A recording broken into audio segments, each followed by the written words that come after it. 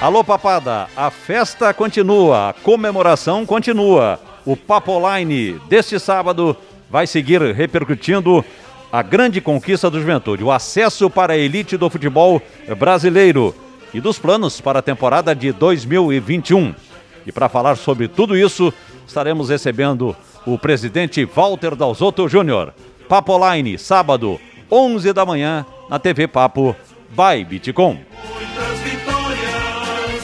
Cidade em orgulho deixou. Juventude, um passado de glórias